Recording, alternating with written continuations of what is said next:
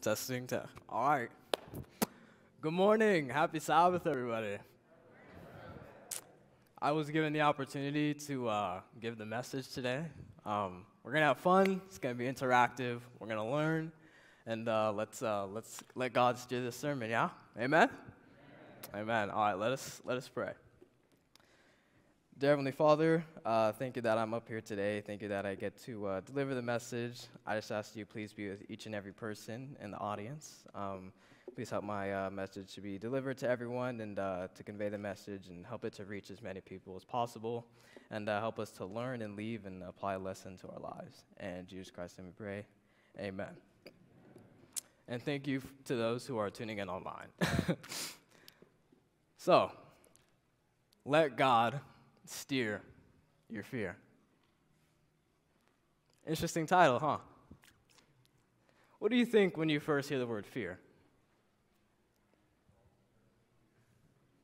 Do you think it's something good or do you think it's just all bad? Can it be used for good? I don't know. Let's find out. Let's find out. So let's take a look at the definition of fear from our greatest friend in today's day and age, Google.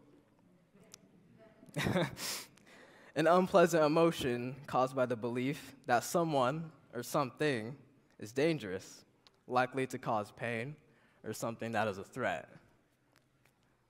So, fear. We go through it every day in our day to day lives, whether it's uh, getting an A on that school test, don't know if you're going to pay rent. I don't pay rent yet, so I don't know. We go through it all the time. A moment when I was the most afraid of my life. Catalina, eighth grade trip that we took with Miss Herman and David Tripp. Shout out to our old L&J teachers. so does anyone, do any of you remember a class trip that you took when you were about the ages 15, 15, 14? Raise your hand if you remember a class trip. All right, yeah, stuff like that, DC, all the stuff you had to take, right? Yeah. So, we got our ocean people and we got our land people. I'm a land person. Right? I was a land person, still am a land person. I want our land people to stand up. Stand up, land people. Come on, there's gotta be some. Y'all, okay, California. Oh, all right, we got a land person. We got a land person. Thank you. I feel you. Water people, you stay. I'm not gonna ask you to stand up. We know. We get it. well, I remember going on this biology trip, right, with David Tripp, Miss Herman, they said, We're going to Catalina Island. It's going to be beautiful. It's going to be great. It's going to be fun. Wrong. To me, I was like, We're, going, uh, we're going to a place of ocean, the water? Excuse me? Okay. Uh, well, it's called an island for a reason. I'll be on the land. I was afraid of the ocean. I was afraid of the water, the underwater world. It scared me. Simply a land person. Anyone remember the, the shark movie Jaws? Raise your hand. Jaws? Yeah. Everybody remember that. Movie, right? It's about a shark. It's chomping on people. Marine biologists, they got to figure out how to stop the shark. Are we going to stop it a nice way? Are we going to we gonna, we gonna kill it? I don't know. They got to figure out how to stop the shark, right? They're going through all these scenarios and they have to overcome fear. There's a story about a guy in the Bible who has to overcome events and is put through scenarios by God. And he has to overcome his fear as well. So follow me, and we shall see how this story relates to me. Oh, you like that rhyme? Yo, you'll catch that? Gideon and the Midianites. How many of you know that story? All right. See, when I heard it, I, I, was searching up. All right, so what should I what should I speak about? Uh, I'm on the computer. I'm all, oh, fear. That's a good one. All right, Gideon the Midianites. Don't really didn't know the story that much. All I remember is Veggie Tales. Who watched Veggie Tales when they were little? Veggie Tales. All right, I remember the flashlights. That whole scene. That was cool. And I was like, all right, well, I guess I got to get into the Bible. I got to read the actual story. So our story starts off in Judges 6:1. If we can get that on the screen. And the children of Israel did evil in the sight of the Lord, and the Lord delivered them into the hand of Midian for seven years. So, as we can see, Israelites, they're not doing good. They're doing the opposite of good. And what's the opposite of good? Bad? Nice. If you answer something different, we, we got to have a talk outside. Like, Israelites forced to flee into the mountains. They're crying out to the Lord, Help us, help us. I don't know what's going on. So the Israelites are sent a prophet. Prophet told them what they've been doing wrong. Judges 6, 7 through 10. And it came to pass when the children of Israel cried out to the Lord because of the Midianites, the Lord sent a prophet to the children of Israel and said to them, Thus says the Lord God of Israel, I brought you up from Egypt and brought you out of the house of bondage. And I delivered you out of the hand of the Egyptians and out of the hand of all those who oppressed you. And I drove them out before you and gave their land into your hand. Also I said to you, I am the Lord your God. Fear not the gods of the Amorites in those lands which you dwell. But you have not obeyed my voice. So, Israelites, they're showing that they're not just afraid of their oppressors in the land that they live in, they're afraid of their oppressors' gods as well. And that's a no no. There's only one God, only one true God. So, an angel, God sends an angel, right? Angel phew, comes out of the sky. I'm the angel. This is the oak tree, Gideon's oak tree. Angel oh, sits down right here. It's got angel swagger. It's all, what's up? What's up, Gideon? What's good? And Gideon's like, whoa, is that an angel? Y'all see that? That's an angel. And let's keep in mind, Gideon's not showing fear. Not yet. Not at least, not yet. We don't know. Gideon asks why all this happened to the Israelites. Gideon, he starts trying to roast God. He started, he's trying to, trying to roast God right here. Judges 6.13. Gideon says to him, Oh Lord, if the Lord is with us, then why has all this happened to us? And were all of his miracles which the Father told us about, saying, Did not the Lord bring us up from Egypt? But now the Lord has forsaken us and delivered us into the hand of the Midianites. So Gideon, he's having an attitude. God's like, oh, oh, really? Okay. So we're going to take a look at the definition of doubt, because I think I'm smelling doubt from Gideon right here. Definition of doubt a feeling of uncertainty or lack of conviction. So I don't know how many of you know, but um, I'm a skateboarder. A couple of my friends are also skateboarders, actually, all of them. and right, so I'll be at the skate park or I'll be out in the streets and I'll be pulling up to a stair set like this, like this, like this stage. And I get up to it and I'm like, I don't know if I want to throw my trick down this. I'm doubting my skills. I haven't been put through a scenario or test like this before. A little foreshadowing to what's going to happen. So let's take a look at Judges 6 17. Then he said to him, If now I have found favor in your sight, then show me a sign. Show me that it's you that's talking to me. That's what Gideon's saying. He's saying, Okay, you want me to be your, you want me to be your commander? All right, give me a sign. So God sends him an angel, right? To show him his great power. He says, I want you to get me some food. I want you to get me an offering. Put on this rock. And Gideon's like, okay, whatever you say. Puts the food on the rock, and he's like, all right, what are you going to do with it? And God's like, bam! And fire comes out of the rock. Food's gone. Gideon's like, oh, he God, he God, ain't he? All right. So our first mentioning of fear, huh? Judges 6, 22 through 23.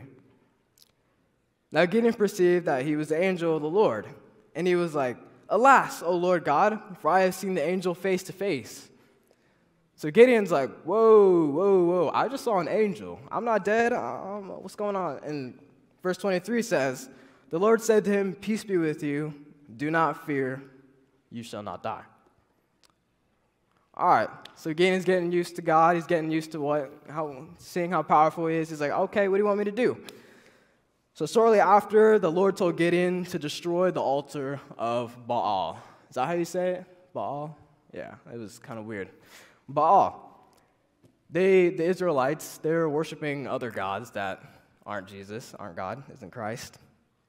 And Gideon obeys, right? grabs his 10 men, grabs his posse. He's like, all right, guys, we got to do this. We got to do what God says. So they go and they destroy. It doesn't say if it's a statue or something, they just go destroy it. And his father comes out and he's like, Whoa, whoa, what you doing? That's Baal. That's my guy Baal right there. You just destroyed him? Okay. If he's, the, if, he, if he's Baal, let him raise himself up. Baal's an inanimate object. Couldn't do it, couldn't save himself. So the Israelites realize, oh, okay. So he's not God. He's not the true God. So now God is he's getting into the car. He's gonna start, he's gonna start steering fear. First fear test, Judges 7 3. Now therefore proclaim in the hearing of the people, saying, Whoever is fearful and afraid, let him turn and depart at once from Mount Gilead. And 22,000 of the people return, and 10,000 remain.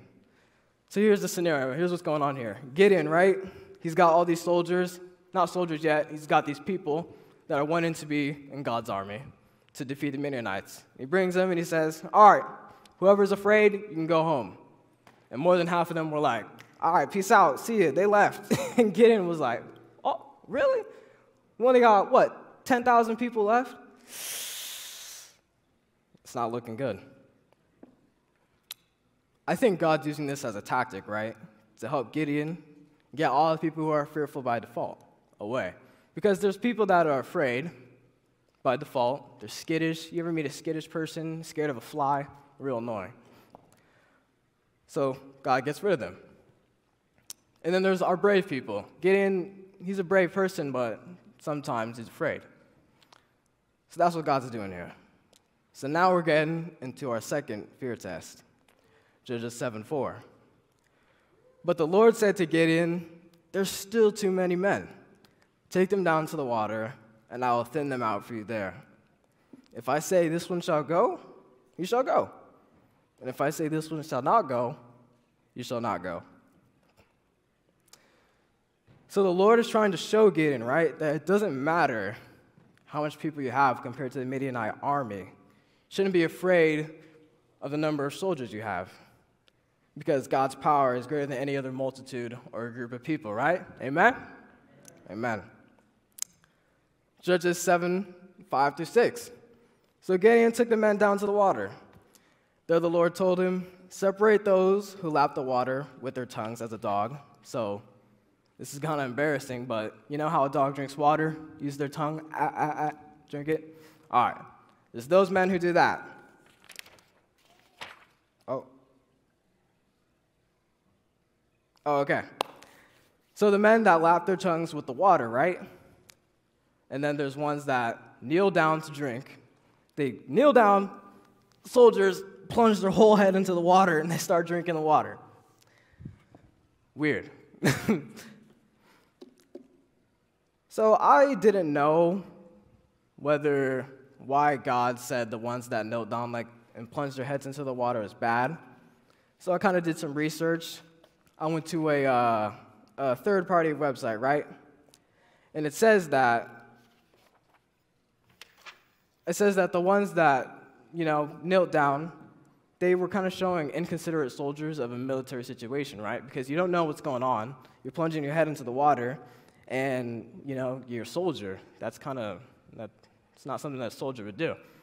The other ones, they did it peaceful, peaceful like a dog, went like this, and drank the water. So that's what was going on there. So now we're into our next test. God says, on the same night, Judges 7, 9 through 11, my bad, sorry. It happened on the same night that the Lord said to him, Arise and go down into the camp, for I have already delivered Gideon into your hand. But if you are afraid, go down to the camp with Purah, your servant, and you shall hear what they have to say. And afterwards, your hands will be strengthened to go down against the camp. So I think this is a wholesome, wholesome moment. God's like, okay, if you're afraid, in, take your buddy. Hey, guys, guys, everybody, Pay attention. So, how many of you are married? Raise your hand. Okay. How many of you, this one's embarrassing, how many of you like a girl at school? yeah, I know, I know. You don't have to raise your hand. so, right, you like a girl, right? And you're like, oh man, you got your wingman with you, right? And he's behind your back and he's like, all right, bro, you got this. All you got to do is you just got to go talk to her. And then he's hyping you up and you got it. And you take her on a Christian date. You hear me? Christian, Christian date. That's what's going on here. Gideon's like, he takes his buddy down to the camp.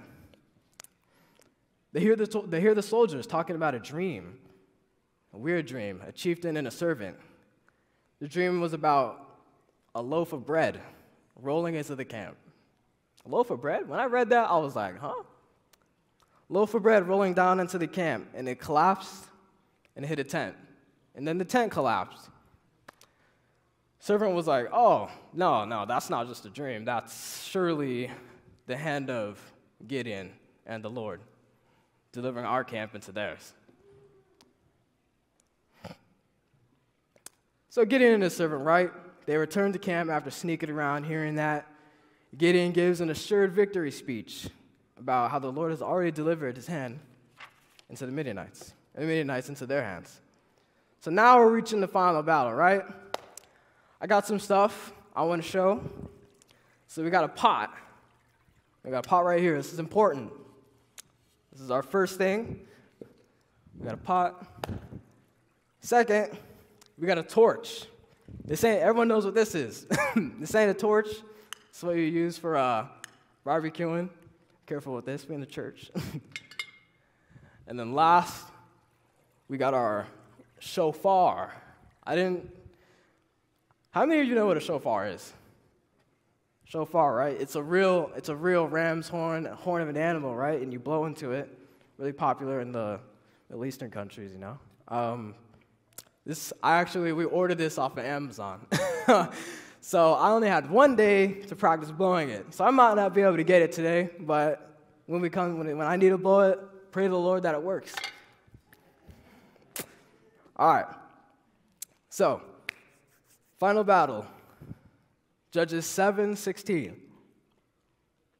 Then he divided the 300 men into three companies, and he put a trumpet into every man's hand, right? With empty pitchers and empty torches inside the pitchers. So he brings them all into a huddle. He's like, all right, guys. He says, I want everyone to watch me, do what I do. When I blow this trumpet, you all will blow yours too. And when I say, the sword of the Lord and of Gideon, I want you to yell that too, all right? Everybody's hyped up during the huddle. They're like, yeah, let's do it. So, alas, here we go. Again, his hundred men came to the outposts. All right, I'm gonna try and blow this trumpet, y'all. this might sound not good. I might not get it. We'll give it three tries. All right, y'all with me? All right, let's see. Let's see if all the practicing, let's see if it. All right, that's goal one. all right, let's give it. Let's give one. Let's give it two more.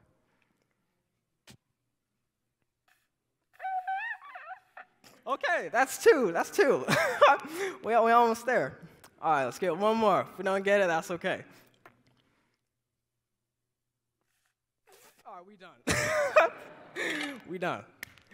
All right. so they blow the trumpets, right? They break the pitchers. All right, so I don't want y'all to cast me out for this. All right? I asked Pastor Joseph, he said, You can do it. You can break it on the stage. I, I see some of y'all faces, y'all. Is he dumb? He really gonna do that? I'm gonna do it. We're gonna clean it up. We're gonna clean it up, don't worry. They break, they break the pitcher. Pictures, everybody screaming, everybody screaming. And then Gideon says, Y'all ready? The sword of the Lord and of Gideon! And that's what's going on. The war, Midianites, they're in the middle. They're, they're waking up. They're like, Whoa, whoa, whoa, bro, they're, they're already here. We, we weren't ready. And they're scared. They only got one way to go. Imagine Midianites in the middle, they run straight out. And there it is. That's the end. There's, I, I, kept reading, I kept reading the story. It gets a little gruesome. Some things, some bad things happen to the Midianites. Israelites. We'll keep it PG. We got some primary, some cradle roll in here. Might not want to talk about that. but God knew Gideon was fearful. So he sends all the fearful people away, right? And steers their fear into victory. So, y'all remember Catalina, right? Catalina's story? Okay, so let's head back into it.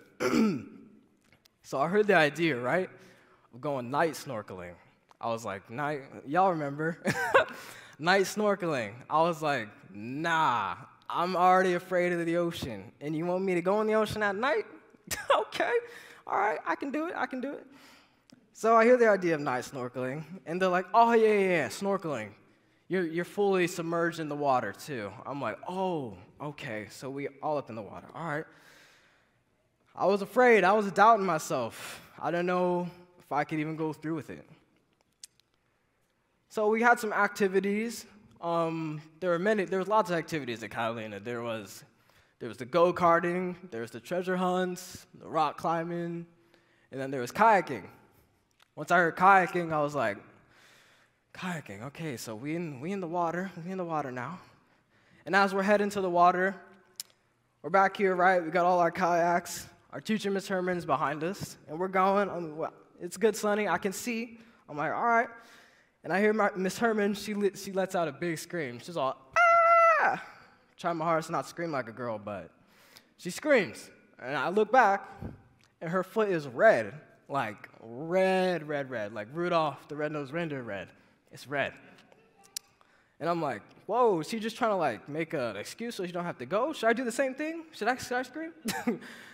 and so the instructor comes down and he says, "Oh no no no, that's uh that's sand stingray."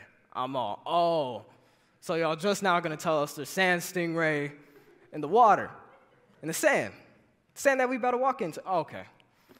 So I, I'm I'm like, all right, Miss Herman, she's out. I'm still here. I'm walking to the water, like looking at everybody else go. I'm okay. I'm scared. I'm I'm I'm looking out for myself. We get into the water. It's fun. I can see them with all the homies. I'm like, all right, if they die, I die. So we all gonna die together. we good. And then after that, there was us in the kayak, me and my buddy Sam. Our kayak, shout out to Sam Dompus if you ever see this. We're in the kayak, right? Our kayak has a hole in it. Has a hole in it. And we're pushing to go left, and we going right. I'm like, yo, Sam, there's a hole in our kayak. And he's like, yeah, I know. And we were always the furthest behind the group. And we're getting further and further away from the island, and it's not looking good. But luckily, there was a current right that kept pushing us the right way, so it was cool. Wasn't cool until we get to this one, this one area. Our instructor, he comes up and he's like, you know what we're above right now? And I'm like, what? You better not tell me we're above a volcano or something. And he says, no, no, no, no. We're above the uh, Mariana Trench. Anyone here know what the Mariana Trench is? Some, of, some of you in school know what that is, right? Okay. Instructor, he's like, yeah, we're above the Mariana Trench. You know what's down there? I'm like, what? He's like, monsters. I'm like, oh, monsters. Y'all remember Nemo? Have anybody seen Nemo? Nemo? Okay, you remember the uh, glowing fish with the. Yeah. He's like, yeah, that's down there. I'm like, oh, okay, nice, nice. All right. Sam, we're going we gonna need to roll a little faster. uh, I'm down my abilities right here. I'm like, I feel like this is a personal attack. I'm like, is it because of the color of my skin? Think I can't swim? nah, but it was, it, was scary, but thank, thank, thankfully for the current, we, we were able to stay with the group. It was fun. Night snorkeling. Finally upon us, right? Couldn't escape it. So we're heading back up to put our wetsuits on. I remember it was nighttime, and um, we're putting our wetsuits on. We're all looking ridiculous because we're a little wet, putting them on, and we start heading down to the seashore, right? We're walking down. I'm breathing. I'm having asthma attack, even though I don't have asthma. I'm breathing. I'm like, oh, I don't think I can do this. I pray, I'm all, Lord, I'm trying not to have a panic attack in front of my friends, in front of these girls. I'm trying to look cool. Please be with me. So we get to the water. I'm standing there. It's dark. This is the water. Instructor says, All right, guys, let's get in, let's do it. So we're getting in. Water's cold. I'm like, I feel it going up. Water's cold. We're in the water now. I can, I can still, I can still stand. I still feel sand. And then the drop. Oh, okay. I don't feel the sand anymore. We're in the water. I'm breathing. oh, I'm all, Lord, please, please help me. We're in the water, and the instructor, he says, All right, guys, put your heads down. I'm like, Okay, okay. We put our heads down, and then we got, we have flashlights with us so we can look and see little creatures. But I wasn't sure. I'm like, do I want to see what's about to come out and kill me? Or like, do I want to, do I want to see that? No, I'm not sure. And he's like, just turn the flashlights on. You're going to see some cool stuff. I'm like, okay. So I turn on my flashlight, and we see the little kelp forest. We see the little Garibaldi, if y'all remember that. Garibaldi or state fish or something. It was fun. It was fun. It was fine. I was like, okay, I'm with my friends. We're having a good time. And he's like, all right, now turn it off. I'm like, you say turn off the flashlight? Did you just say turn it off? Yes, that's what he said, right? So I turn off my flashlight. And he says, okay, close your eyes. I'm like, nah. Nah. he says, close your eyes. I'm like, okay. If I die, might as well accept it. So I'm floating there with my eyes closed. And he says, wave your hands around. I'm like, is he just messing with me now? Like, wave your hand, okay. So I see, I see everyone else doing it because my eyes are slightly open. I'm like, all right. So I'm waving my hands around, and he says, open. Open my eyes. There's this blue glowing stuff around our hands. I'm like, whoa, this is cool. I'm not scared anymore. He explains to us what bioluminescence is.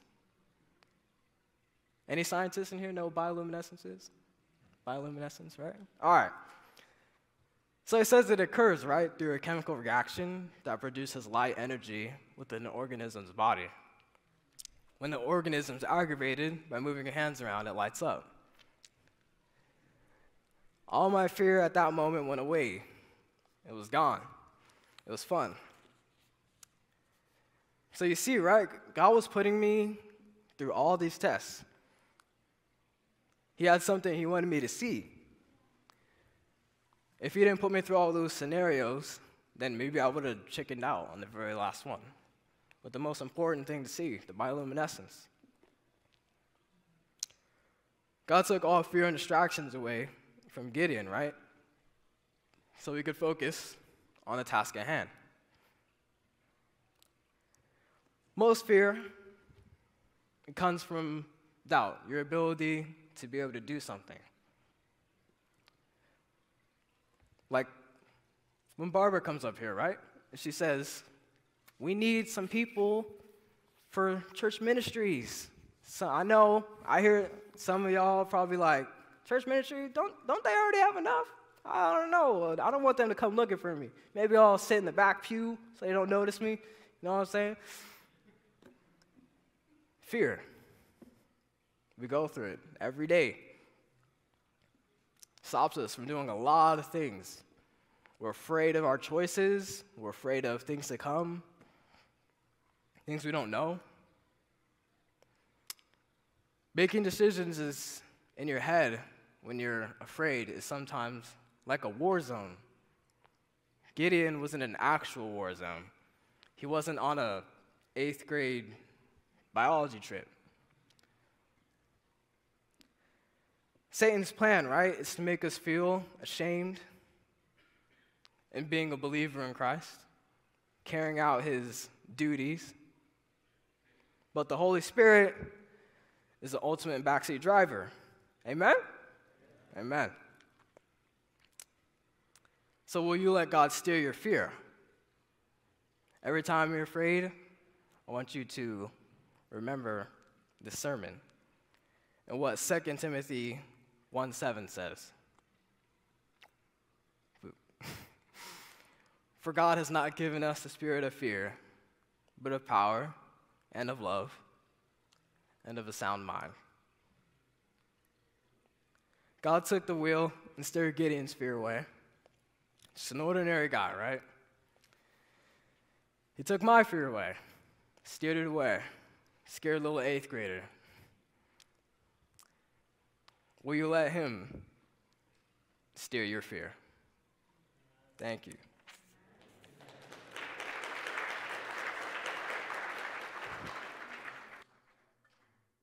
Yes, we're going to clean that up. Don't worry.